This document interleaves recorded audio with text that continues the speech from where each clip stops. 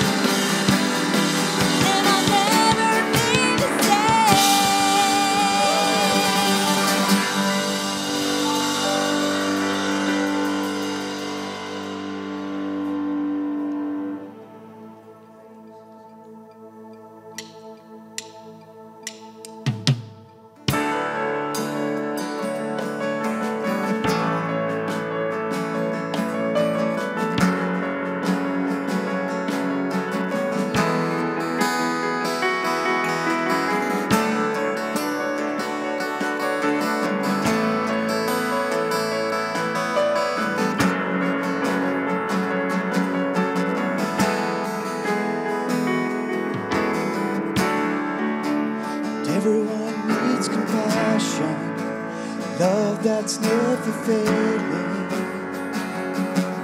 Let mercy fall on me. And everyone needs forgiveness.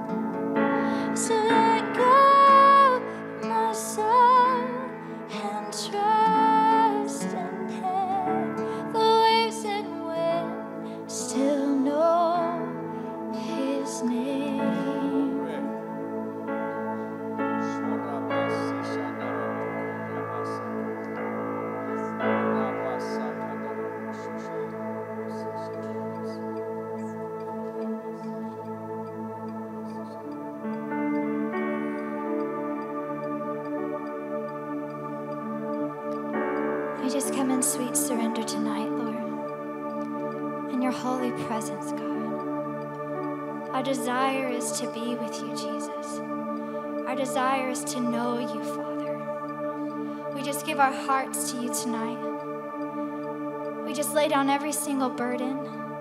Fill that place, God. We give it to you, Jesus, because you give us rest.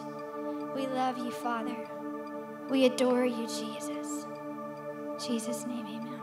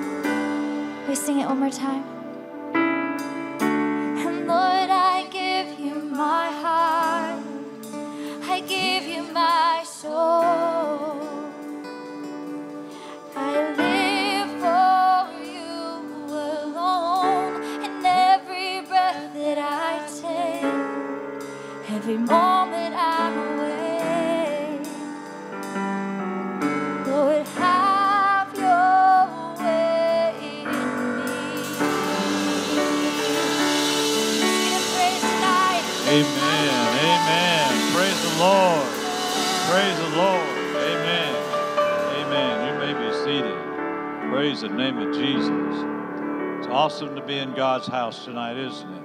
Amen.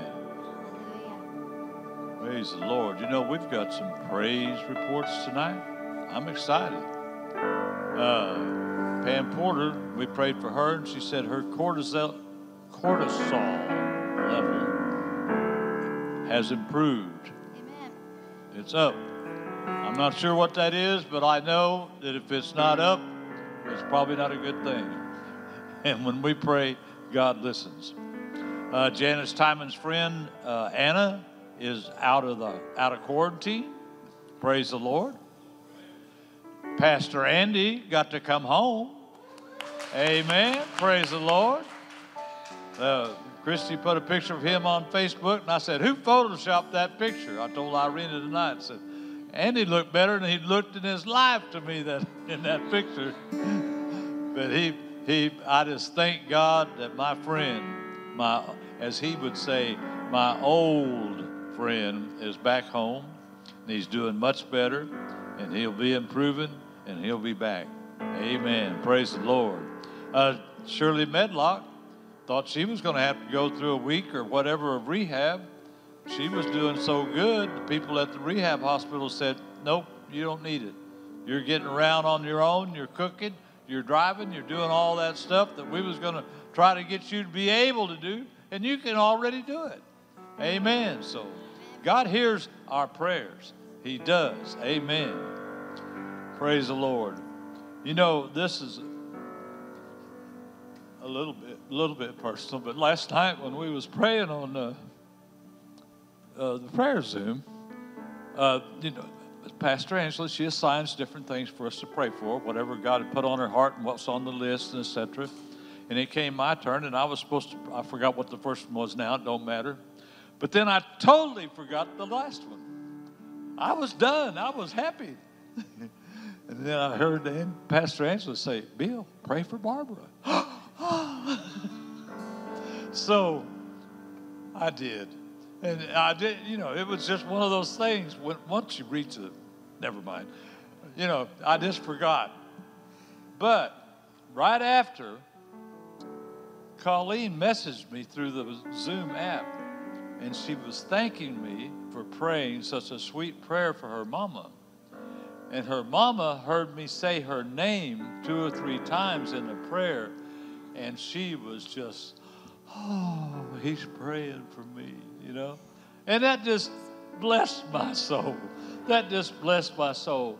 And you know, when we pray for these needs on this list, God listens the same way Barbara was listening the other night. He said, My children are talking to me. My children are asking for whatever they need. And He's our supplier tonight. Amen. Amen. Man, I didn't plan on getting this carried away up here tonight, but you know, but we don't have praise reports on here because we didn't ask for them. Okay? God hears us. He loves us. He's the one that sent his son to die on the cross for us. Jesus took the stripes on his back for our healings. The nails pierced his hands and his feet. It's awesome to serve a God like that, you know? It's awesome. Praise the Lord. And I'm so glad that He cares. Amen. So we need to go ahead and continue to remember to pray for Colleen's mama, for Barbara Shepherd. Uh, they've, I think they've got it fixed now where she can't get out on her own. So she, she wanders off and she winds up falling down and hurt. But thank God she didn't really hurt herself. You know, once you reach a certain age, people shouldn't be falling down because it's just not it's not a good thing. Things can break too easily.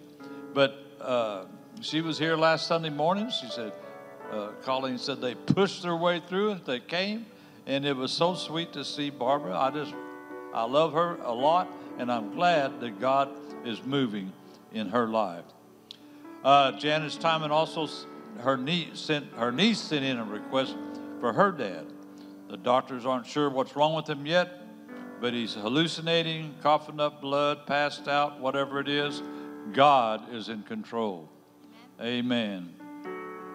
Uh, Shirley's Aunt Perline uh, recently had COVID. She'd been back home. She went back to the hospital. Uh, she's 80 years old. I think actually she's 83, we heard today. But um, they've taken her off of life support today.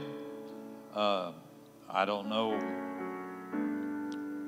God is in control. God is totally in control. And we need to continue to pray for Wiley Stevens, Tracy Stevens' husband. Uh, the you know the neurologist, they thought once they thought he might have had cancer and said no, he doesn't have cancer, and they don't have any idea what's wrong.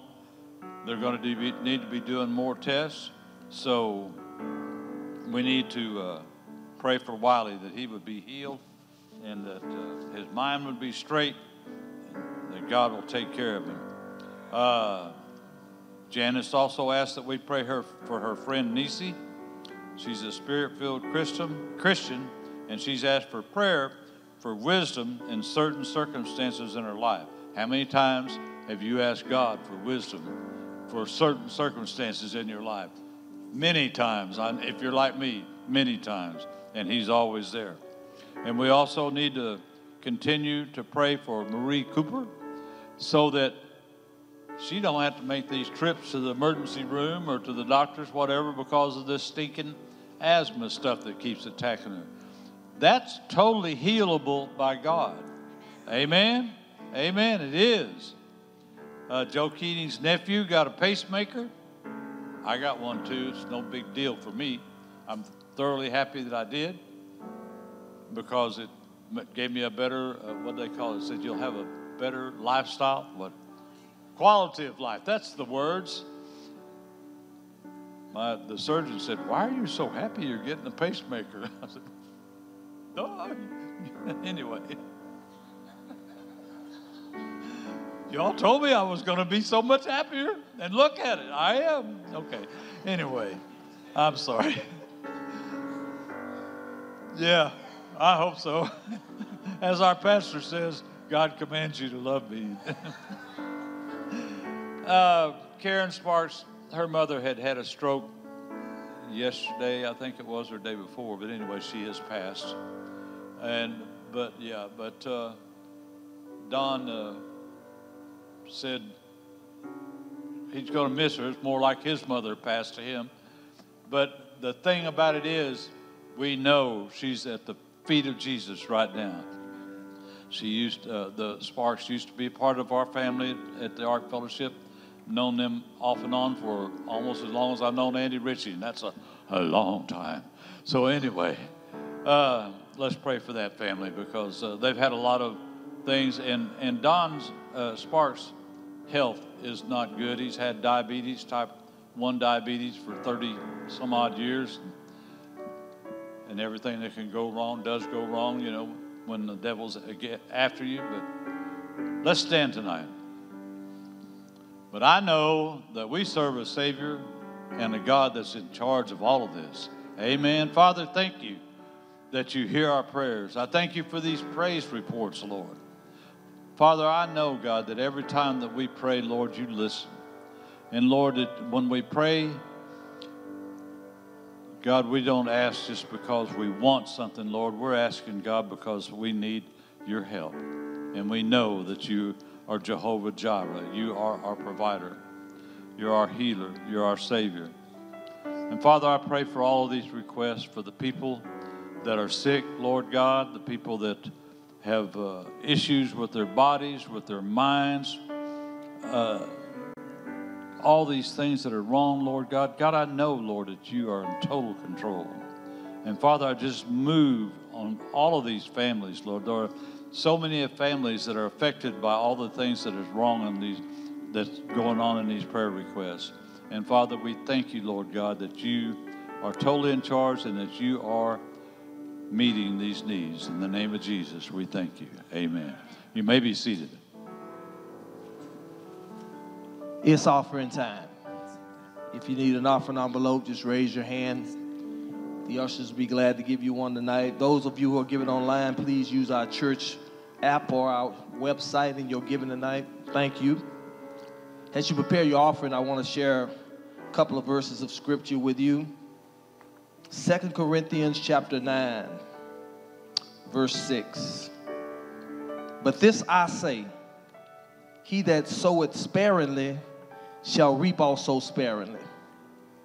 And he that soweth bountifully shall also reap bountifully. So that means you should expect an increase. Are y'all paying attention? you should expect increase. You should expect it. Every man according as he purpose in his heart, so let him give, not grudgingly or of necessity, for God loveth a cheerful giver. Amen. You ought to be smiling right, right now. and God is all God is able to make all grace abound toward you.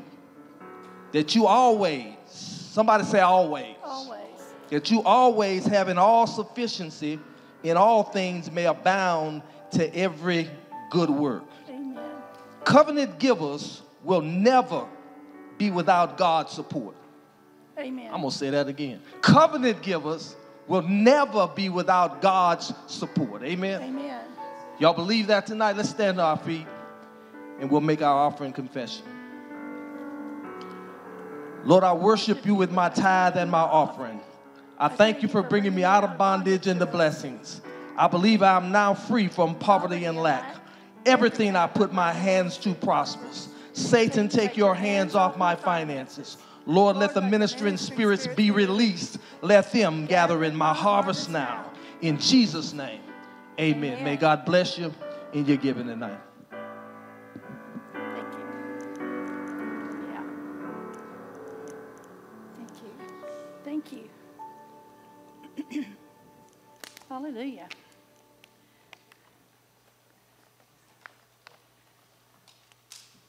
It's a lot brighter up here.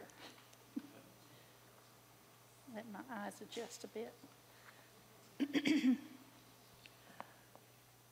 Some of you will recall a few weeks ago I shared the deliverance I was getting about my prosperity, about finances. Well,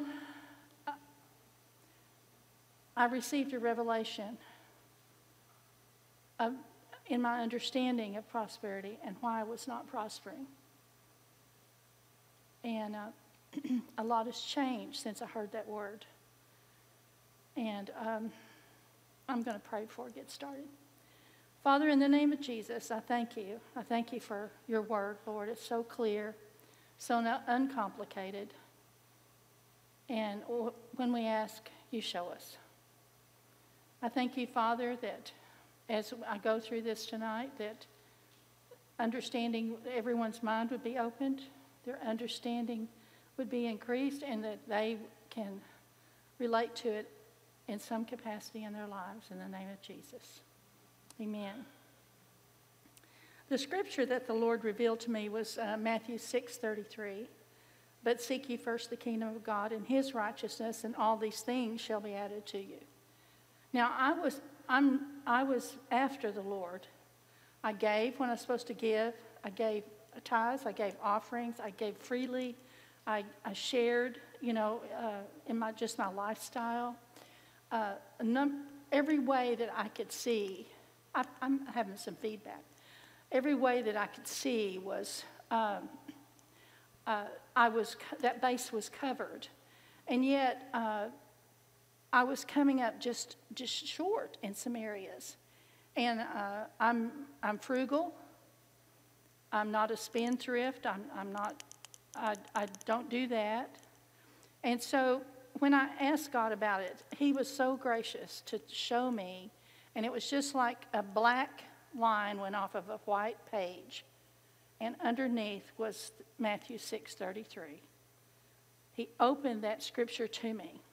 Well, since that point, I have been going after more understanding of what was going, what, how monies affect us in the body of Christ.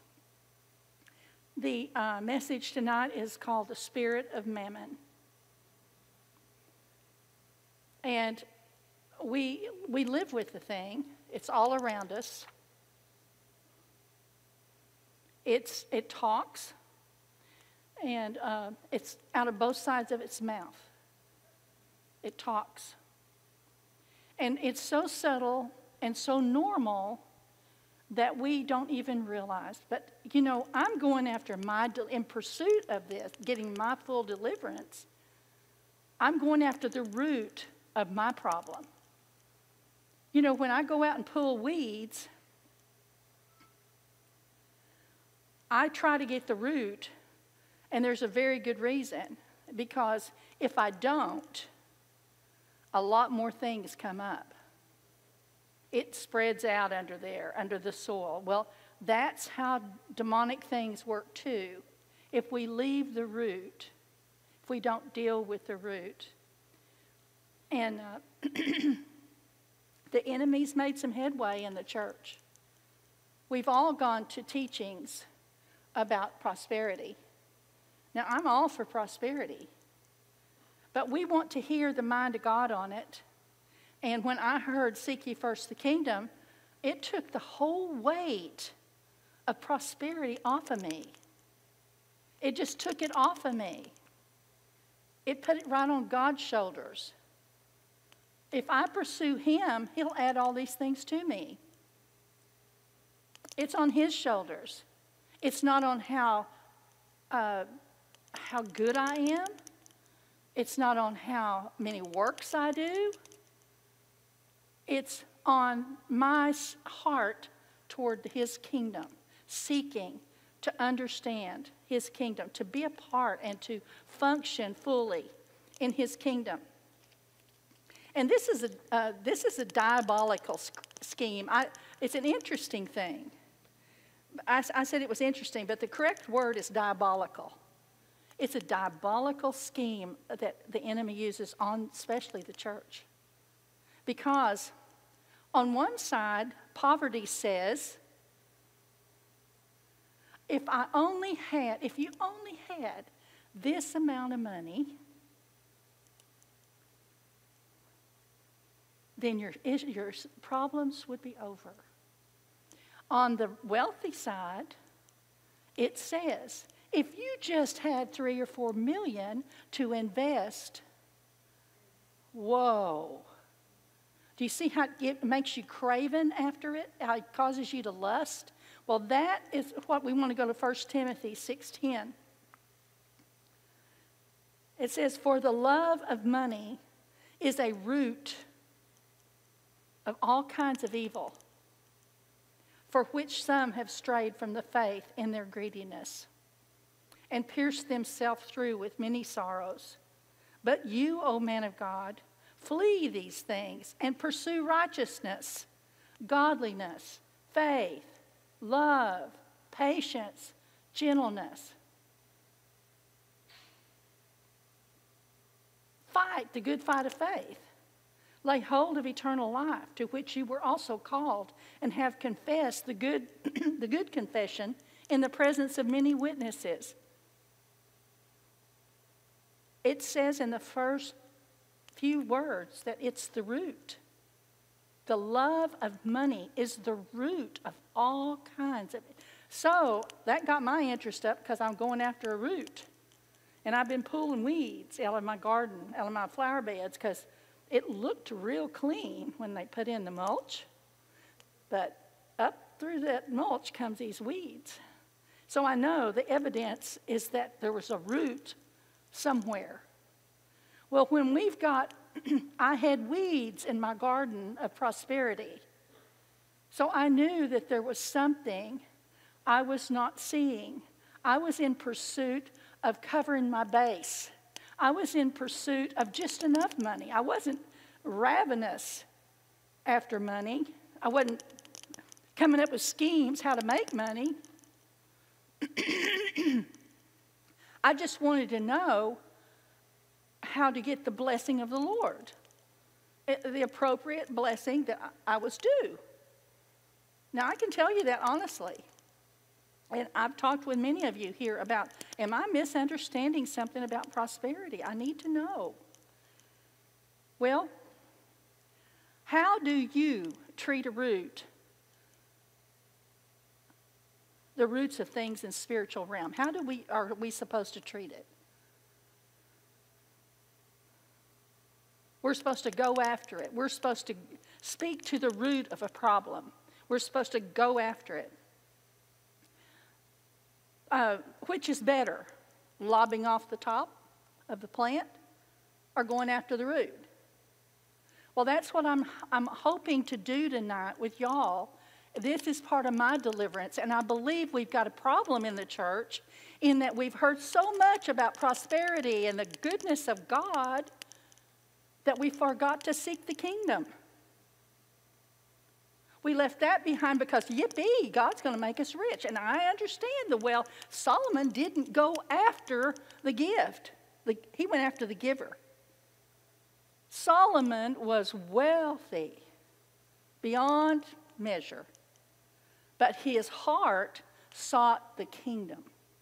His heart said, Give me wisdom to rule the people. You see that heart? That heart that that uh, went after a better way. It's a better way. And you see up here in this scripture, uh, back to Timothy, uh, it says, Pursue righteousness, godliness, faith, love, patience, and gentleness. Those are fruitful things. That comes out of the relationship with God. When God sees that, then he, he just, the windows of heaven are opened. We don't have to pursue wealth.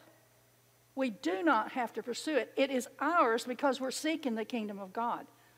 Now, He gives to those. We got a root problem, not a, and a, we instead of a Jesse, uh, the son of the, uh, let's see, the root of Jesse, we got the root of Mammon going. And we need to be after the root of Jesse. We need to be after the kingdom of God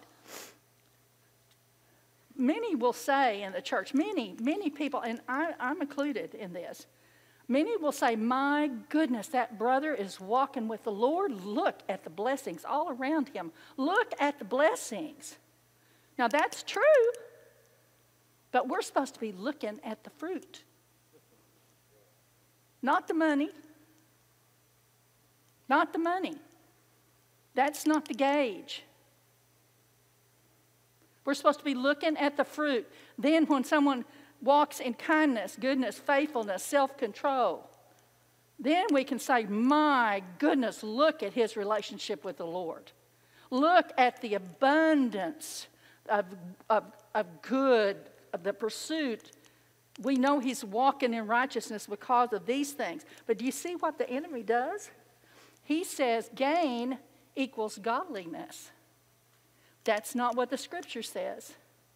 The scripture in Matthew 6 6 now godliness with contentment is great gain. This is, I'm going to need New King James Version. 6, 6 6, Matthew 6 6. But when you go and pray, let's see, I'm in the wrong somehow, but that's, I'll read the scripture, just take it off. Now, godliness with contentment is great gain. See how we're looking at gain? What was the original sin? It was Eve was told she was lacking. So it made her go after glory. She wanted to be knowledge of she wanted that knowledge that God, same, equal with God. See how he got her to lust for something? But she had goodness all around her. she had no knowledge of evil. She had no, only good. But this evil, evil serpent told her she was lacking, and she lacked nothing. He will tell us we're lacking. Our relationship with God isn't good enough. It's not going to cause you to gain. We're going to have to. We're going to have to put in the world system somewhere. We're going to have to multiply ourselves. That is not what Paul did. Paul was a, a Paul sought the kingdom of God. Now in Philippians 4:11, let's see if I got the right verse on that. Okay, he said, Not that I speak in regard to need, for I have learned in whatever state I am to be content.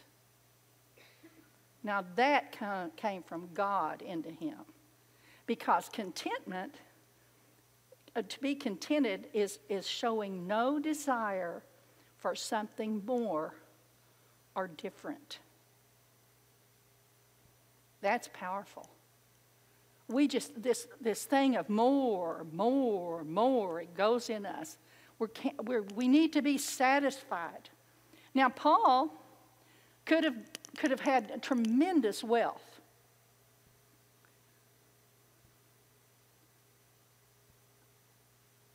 I'm going to come to that back to that later. Matthew 6, 19 through 24. It says, Do not lay up for yourselves treasures on earth, where moth and rust destroy, and where thieves break in and steal but lay up for yourself treasures in heaven, where neither moth nor rust destroys, and where thieves do not break in and steal. How do we lay up treasure in heaven? By seeking the kingdom, by being uh, with God. This is a very sober thing to me because it's like I, as I began to get healed, it was turning over rocks and there were more squirmies there. Have you ever kicked over a rock and looked underneath? That's what was happening. That's what happened to me. And then it says, For where your treasure is, if you store up treasure in heaven, for where your treasure is, there will be your heart also. The lamp of the body is the eye.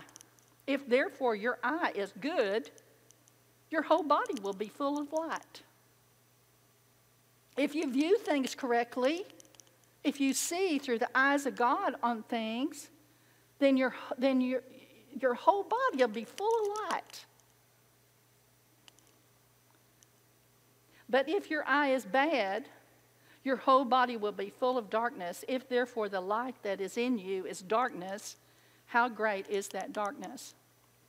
No one can serve two masters, for either he will hate the one and love the other, or else he will be loyal to one and despise the other.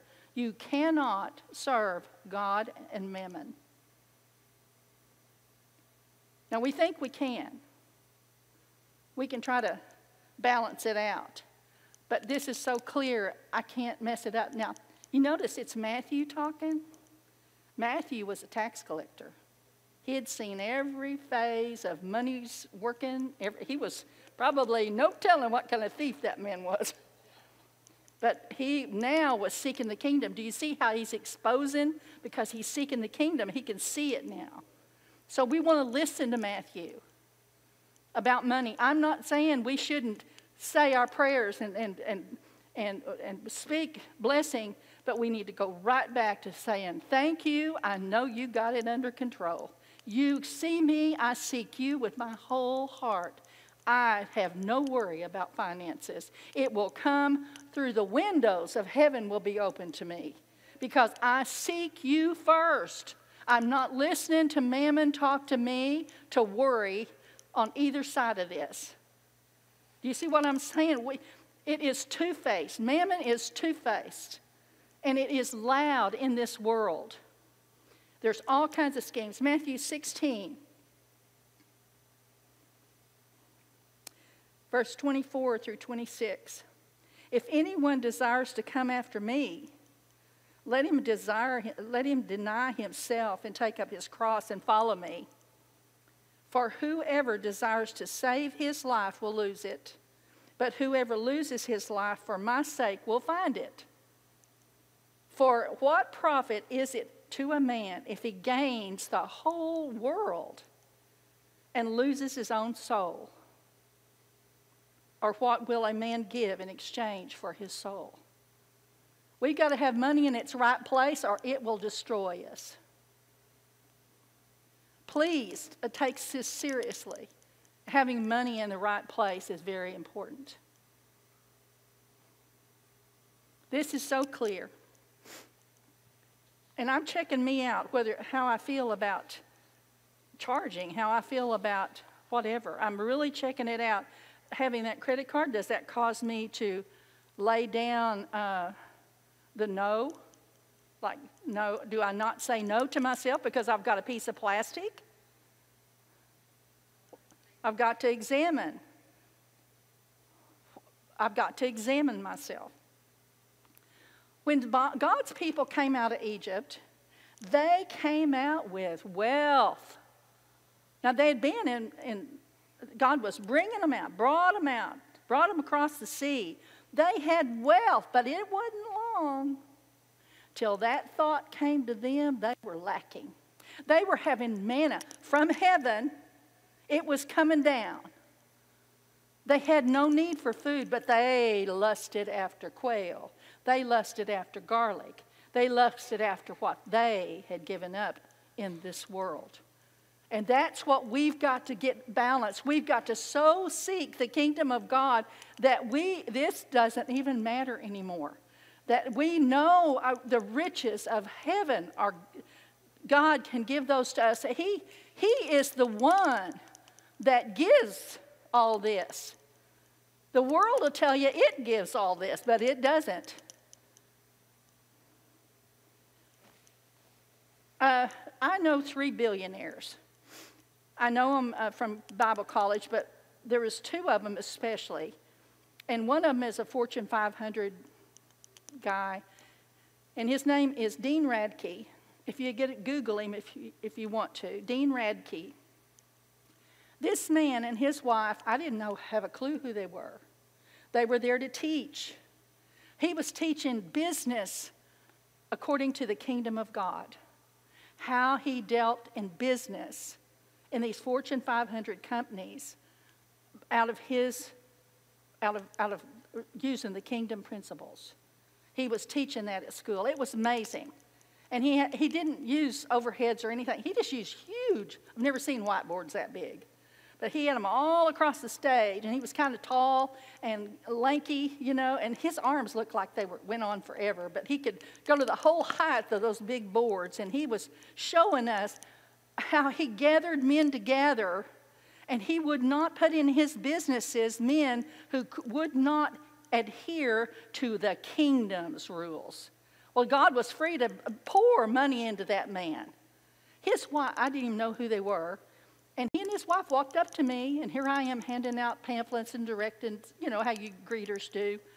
And he walked up and he said, Tell me about you. And I thought, Okay, my name is Joy. And he was just, but I knew later after he and his wife got on the stage who they were. They were ordinary people. They thought no higher of themselves, they were not elitists. Money separates us, it's a divider in the body of Christ, it divides us. And we cannot allow this spirit to speak to us and divide us from our brethren, from the least to the greatest. We've got to protect one another.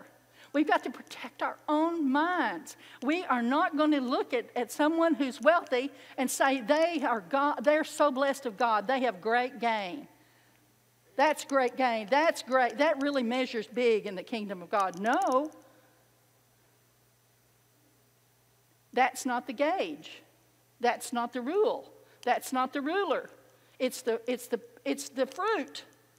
And we've got to, um, uh, the people that came out of Egypt says, the heavenly, the heavenly uh, provision. This is what a mind says when it's worldly.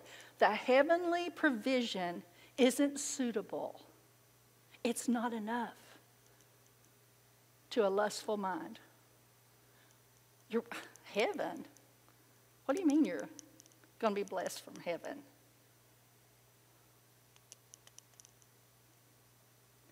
The world systems are, are tricky and evil, and we, we've got to get our heads, heads out of them. We need to get our heads straight. I think we too don't really like the taste at first of heavenly provisions, much like the Israelites. We want it now, thank you very much, and I want it cooked this way. They didn't like manna. And we do the very same thing. We need to be thankful. But we need to acquire a taste for the heavenly. We need to humble ourselves and begin to acquire, acquire this taste for the heavenly so that we will know it when we see it in somebody else's life. We need to recognize what we're supposed to recognize in, in others' lives. If they have a weakness, we don't judge it, we, we edify and build. We must begin to acquire the taste of the heavenly. Leave this old world system in its, in its ditch and realize that our abundance, our increase comes from the heavenly. And it may not be the it may not be what we're expecting. It may not be. As we are renewed in the spirit of our minds by the word of God, our tastes change. Have you ever noticed that? Have you noticed you think differently? You think differently about things? Have you noticed that in your life? Have you noticed that when you when you go among your family, you're not quite as welcome as you used to be because you think differently? Your unsaved family, I mean,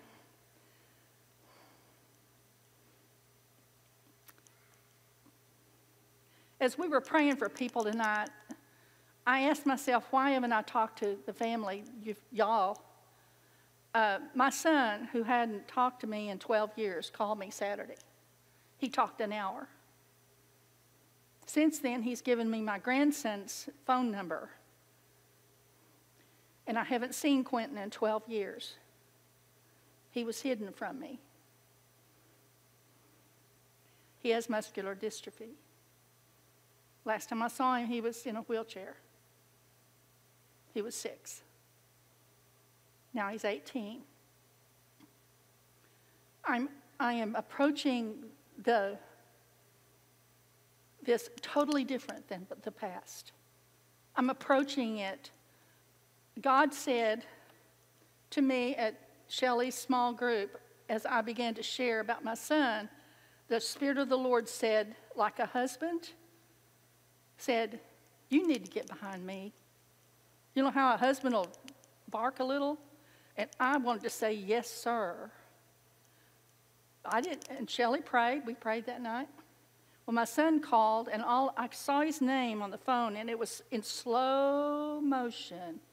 I picked it up because I wasn't sure what I would hear. And I just let him talk. I haven't called my grandson yet, but when I do, I'm going to just text and see if, if, if it would be all right with him if I call him. I'm not assuming anything, and I'm staying behind my husband because I want it to go well. I can't tell you the, the change that's happened inside of me by seeking the kingdom of God. It has changed my soul. I'm not walking in fear.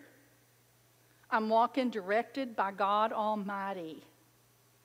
I'm receiving instruction from that kingdom that will change this kingdom. We've got to get in the ball game and know where to receive our instruction from about finances, about everything, about relationships, about everything. We need to go to the kingdom of God and say, What does your word say about relationships? What does it say about things? In the story of the talents, we all know about the talents the five, the two, and the one. We all know about that, and we know what they did with them and everything, but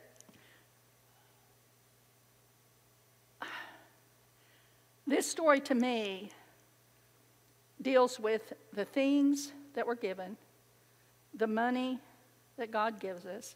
And in Matthew 24 14, for the kingdom of heaven is like a man traveling to a far country who called his own servants and delivered his goods to them.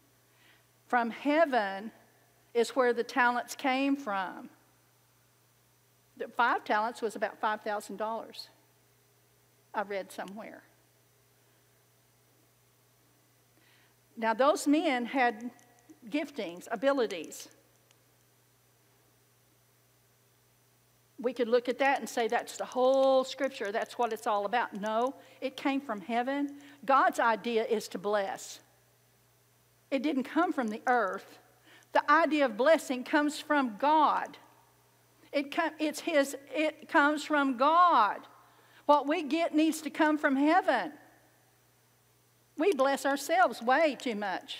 The talent was God's idea, based on, I think, the condition of the soul in those three men, those three people. It was the condition of their soul, is how they handled it. But the talents themselves came from the Heavenly Father. The number of talents given to each one wasn't determined by the servant. And we have many people walking around saying, I want to be the one that gives the most to the kingdom of God and God's things in the earth, and it's okay, we can be millionaires. Yes, we can. We can say we want to be the giver of givers and all kinds of things, and you know, you make your plan, but those men were given certain amounts they could handle or not. That all of that reasoning came from God. It didn't come from the men making a decision, okay, it's time for my talents, based on what I can do and understand, how big I am in the earth. No. I have quit looking at myself as coming behind in everything. I, if I seek the kingdom of God, I'm ahead in everything. We seekers of the kingdom of God, we leapfrog over any systems of, this world because it's based on the kingdom, it's based on the Father's heart, the giver of all givers, the blesser. We said, we, we found a scripture in Sunday school uh, two Sundays ago. It said, Fear God and His goodness. We can't take for granted this goodness that God has. We need to, we need to humble ourselves and go after Him with everything we are and not banking on uh, false, not being false about any of it. When God looks at us, does He see our abilities in the natural or the condition of our soul? That's a question y'all need to ask yourself. What is the condition of my soul? Am I seeking the kingdom of God first? Have I changed? Paul was a man of many natural talents. I mean, he was a scholar, a Pharisee, a lawyer, a speaker, and capable in many areas of life and had access to wealth.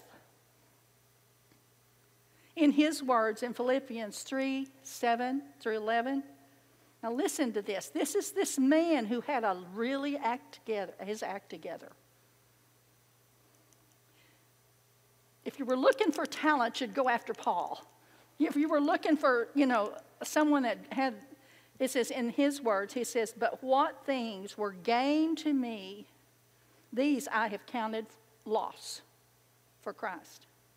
Yet indeed, I also count all things lost, loss for the excellency of the knowledge of Christ Jesus my Lord, for whom I have suffered the loss of all things and count them as rubbish, that I may gain Christ and be found in him, not having my own righteousness, which is from the law, works, but that which is through faith in Christ, the righteousness which is from God by faith, that I may know him in the power of his resurrection and the fellowship of his sufferings, being conformed, uh, being conformed to his death, if by any means I may attain to the resurrection from the dead. My, my, my, my. He was looking to heaven for uh, all his blessing. He considered it the highest thing he could ever do. And he wrote the New Testament practically. What would we have done if Paul hadn't been in prison? Where he wrote what he wrote. Where would we be? The most valuable thing that we can have in this earth is our soul being renewed. We need to protect it. We need to, we need to be sober about it. We need to gauge our relationships. If someone does something that hurts your soulish area, don't be around them. We have a lot of people that keep their old relationships and it doesn't work well for them. It keeps them wounded and so forth. I pray that you've heard this tonight. I pray that I've been clear. But in my own deliverance, I am, I am seeking first the kingdom of God and his righteousness. I want to see a light. I want to see his glory. I want to see him add things to me from heaven that no man could have added to me. I want that so much in my life. And uh, I feel like this week is just the beginning of what's going to happen. I think it's, it's we are seeing we're seeing things in the earth right now. We don't have time to dilly dally in the earth. God's given us a vision, what we're supposed to be doing, and we need to be light. So when we go out there, the enemy runs from our, the, the glory that's on us. We want to walk hand in hand with the Lord in this, hearing from heaven the instructions we need to do what we've been called to do. If y'all would stand with me, I want to pray and close this out.